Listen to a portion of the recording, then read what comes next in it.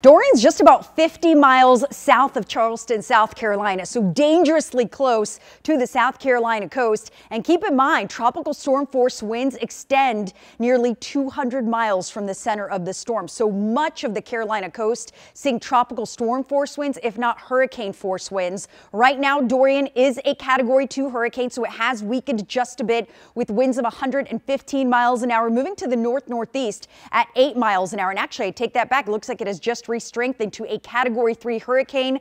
Briefly went down to Category 2 status. Now winds back up to 115 miles an hour. So this is brand new information here. Expected to track to the northeast, very close to the South Carolina and North Carolina coast as a Category 2 and 3 storm. And this is what it's doing right now. This is a look at Garden City, South Carolina. This is about a 20 minute drive south of Myrtle Beach. And you can see the high surf, the rip currents, and just the incredible amount of winds right now over the beaches as this storm continues to move to the north northeast. We've got flood warnings in place, tornado warnings in place, and lots and lots of rain as this storm continues to head to the north and east. Again, only about 50 miles south of Charleston, South Carolina. We'll talk much more about what it's going to do to the Carolinas this afternoon and when this system will move out. First, let's head over to Rodney Harris with more on what's happening here at home. Yeah, Jen. So uh, as far as Dorian is concerned and how it's impacting us here in North Georgia, obviously we're not seeing any rain. It's been super hot, super dry, but we are seeing an impact in terms of your wind. So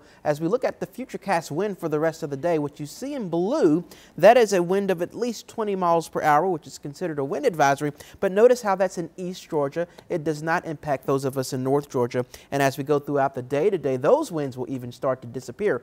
But even though we won't have a wind advisory, we do have winds which will be a little bit breezier than normal here in metro Atlanta. At 1 o'clock today, we're forecasting a wind of about 12 miles per hour. As we continue throughout the afternoon, your winds will continue to be between 10 and 15. Again, this isn't out of the ordinary, but a little bit breezier than normal as Dorian passes us by. But despite the fact that it is breezy, it'll be a pretty decent day, mostly sunny skies. Again, hot again, and we'll talk more about your forecast. Team weather coverage on Dorian continues a little bit later. Karen.